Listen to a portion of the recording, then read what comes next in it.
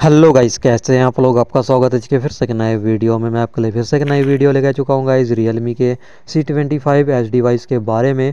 And gas के अपने topic होने वाला है, वो है brightness level and adaptive brightness setting के बारे में अपन बात करेंगे। इसमें आपको आज की वीडियो में बताने वाला हूँ कि आपको जो है डिवाइस में कहाँ से आपको ब्राइटनेस लेवल का ऑप्शन मिलेगा एंड एडेप्टिव ब्राइटनेस कहाँ से आप ऑन करके यूज़ करेंगे अपने डिवाइस में। गए सारी कुछ जानकारी बताऊँगा आज के वीडियो में।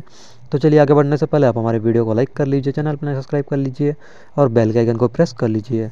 अपन चलते हैं फ़ोन की सेटिंग में और बात करते हैं टॉपिक के बारे में जिसे आप अपने फ़ोन में एडिप्टिव ब्राइटनेस सेटिंग को ऑन करके यूज़ कर सकते हैं वो भी आसानी से।